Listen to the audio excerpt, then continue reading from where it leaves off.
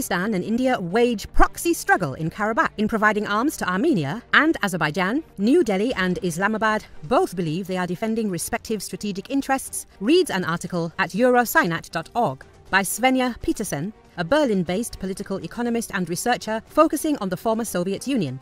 The India Pakistan rivalry is most closely associated with the simmering conflict in Kashmir. Last known is the two countries' deepening involvement in the Karabakh conflict.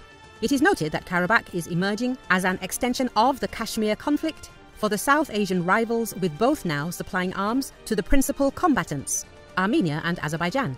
While Pakistan has been siding with Azerbaijan since the outbreak of the First Karabakh War in the early 1990s, India entered the picture as an arms purveyor to Armenia only after Yerevan's crushing defeat in the Second Karabakh War in 2020.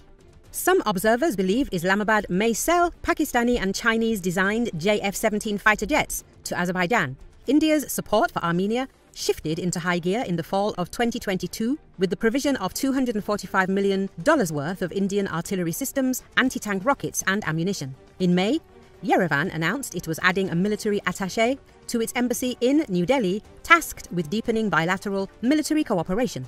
India's decision to get involved in the Karabakh conflict is driven by two factors. One, strategic, the other, economic.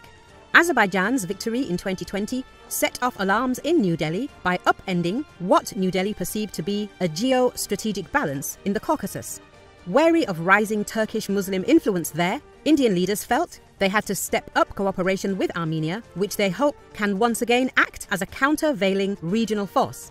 This tendency to side with a non Muslim party of a local conflict is also seen in India's support for Israel, Serbia, and Myanmar. The overriding concern in New Delhi is that if Azerbaijan achieves its strategic goals in Karabakh, the Ankara Baku Islamabad grouping may concentrate its energies in Kashmir. Indian support for Armenia then can be interpreted as a forward defense tactic to keep Pakistan in check in Kashmir.